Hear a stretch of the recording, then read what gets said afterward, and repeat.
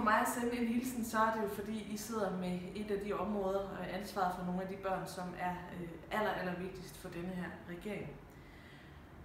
Jeg vil gerne dele regeringens overvejelser med jer. Jeg håber, at I vil dele jeres overvejelser den anden vej tilbage med mig og regeringen. Og hun ikke øh, Benny og resten af forbundet nok skal sørge for, at jeres kloge overvejelser kommer videre vores vej. Det tror jeg. Som I ved, så har regeringen siden statsministerens nytårstale om de udsatte børn her i Danmark arbejdet øh, med det område med et oplæg, og her er øh, jeres indsats, det at give øh, udsatte børn, der ikke kan være hos deres forældre, et trygt nyt hjem, jo helt afgørende. I virkeligheden jo superhelte, øh, hvis vi skal lykkes med den her opgave. I åbner ikke bare jeres hjem, I åbner også jeres hjerter øh, for nogle børn, som øh, ofte har haft det meget, meget svært at opleve ting og leve med ting, som små børn ikke skal leve med. I vander børnene med den kærlighed og den omsorg, øh, de har været i underskud af, fordi deres forældre ikke altid har været i stand til at give dem til dem. I giver børnene selvværd, selvtillid, tro på fremtiden, og det allervigtigste, troen på og viden om, at de er værd at holde af og have med at gøre.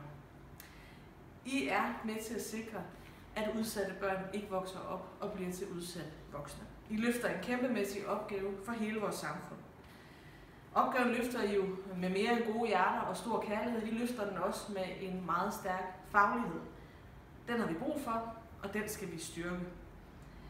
Jeres fokus på faglighed, ja, det bærer hele konferencen, I holder i dag, øh, jo også præg af. Når jeg læser i programmet, så er det det, der fylder efterværn, samarbejde med biologiske forældre og alle de dilemmaer, der nu er øh, i at være plejefamilie og stå med det ansvar, I gør. Jeg er også godt klar over, at det at være plejefamilie ikke altid er en dans på roser. Det kan være ekstremt hårdt. Det kan det for jer. Det kan det for jeres parforhold. Det kan det for jeres egne biologiske børn. På det seneste, ja, så har covid-19-situationen betydet, at mange af jer har været ekstra presset. I har skulle være på 24-7 i har, som en af jer har udtrykt det, skulle være støttepædagoger, skolelærer, IT-problemknuser, rengøringseksperter, alt sammen på en og samme tid. For nylig fik jeg et brev fra en plejemor med overskriften, Jeg elsker mit job. Brevet det berørte mig, jeg tillader mig at citere lidt fra det her. Hun skriver, Jeg elsker, når et barn åbner op og begynder at vise omverdenen tillid. Når du begynder at stå så stærkt på egne ben, at det bliver klar til at bevæge sig ud i livet på egen hånd, så ved jeg, at det jeg gør, er godt nok. Men hun skriver også, at vilkårene for hendes rolle som plejeforælder er svære. At samarbejdet med kommunen kan være præget af konflikt og pres. At hun har et meget lille sikkerhedsnet. At kommunen kan finde på at forhandle om hendes vederlag med meget kort varsel. Andre skriver til mig, at samarbejdet med plejebarns biologiske forældre kan være enormt udfordrende. Det kan tage meget energi. At det skærer dem i hjertet, at deres plejebarn pludselig fra den ene dag til den anden bliver vurderet i stand til at klare sig selv den dag, de fylder 18.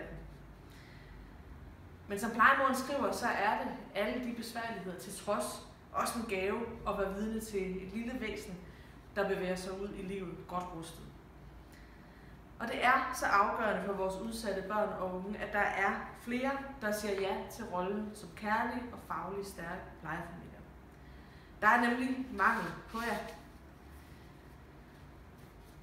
I skal ikke stå alene med den ufattelig vigtige opgave, I har. For uden jeres indsats, ja, så kan vi ikke forbedre vilkårene for nogle af de allermest udsatte børn, vi har, som er hovedpersonerne i det arbejde, også regeringen har sat gang i. Vi skylder børnene og give dem den bedste hverdag, når de er anbragt. Og det er noget af det, vi skal tage os af fra politisk side, kvaliteten i anbringelsen. Mange af børnene har det svært i skolen, både socialt og fagligt. Nogle steder mødes de måske med meget lave forventninger i klasselokalet af ren og skær misforstået hensyn.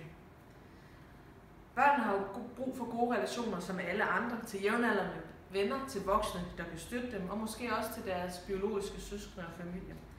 Det er den slags ting, vi vil kigge på i udspillet Børnene Først. Men helt grundlæggende gælder, at vi mener, at vi som samfund griber for sent ind i de udsatte børns liv. Vi anbringer næsten fem gange så mange 16-årige som 1-årige, 2-årige eller 3-årige, Ja, eller 4-årige, 5-årige og 6-årige for den sags skyld. Og mange af de børn, der bliver anbragt, når deres barndom synger på absolut sidste vers, ja, de har altså været kendt af systemet i flere år. Vi må ikke tøve med at gribe ind og foretage de nødvendige anbringelser for børn og unge, som har brug for et nyt hjem. Derfor vil regeringen anbringe flere børn tidligere i rette tid, for det er i mange tilfælde langt tidligere end i dag. Og derfor kommer I som familieplejere også endnu mere i front. Det skal I jo være godt klædt på til at give de her børn en tryg og stabil barndom. Et udsat og sårbart barn må ikke opleve endnu et skift i, hvad de kan kalde for hjem, fordi de voksne må kaste håndklædet i ringen på grund af manglende støtte. Derfor er jeg, regeringen og KL lige nu i gang med at se på muligheder og barriere i forhold til at holde godt fast i jer og få fat i flere dygtige og kærlige plejefamilier som jer. Vi ser bredt på hele området i det arbejde, vi laver. Skolegang for anbragte, gode relationer, gode muligheder for fritidsliv, venskaber og voksne og venner ud over jer plejefamilierne. Jeg ved jo godt, at tak og anerkendelse ikke er løn nok i sig selv. Men I skal vide, at regeringen og jeg sætter ekstremt stor pris på jeres arbejde. Så tak for jeres samfundssind, jeres rummelighed, jeres kærlighed og jeres faglighed, som I deler så gavmildt ud af. Jeg vil bede jer om en ekstra ting, for I er eksperterne. I ved, hvad der skaber det bedste børneliv for anbragte børn. I kender udfordringerne på egen krop. I har sikkert også gode bud på løsninger. Derfor det her ønske, at I vil sende mig jeres input, når I er færdige på konferencen i dag. Det vil være værdifuldt for mig i arbejdet med at sætte børnene først. Så lover jeg til gengæld at stå bag jer og gøre, hvad jeg kan for at hjælpe jer og understøtte de udsatte børn. Jeg håber, I får en god og inspirerende konference. Jeg vil ønske, at jeg kunne have været med som andet end et talende hoved her på væggen. Men Betty, sørg for at få gode input med videre til mig og rigtig god vind med jeres videre arbejde.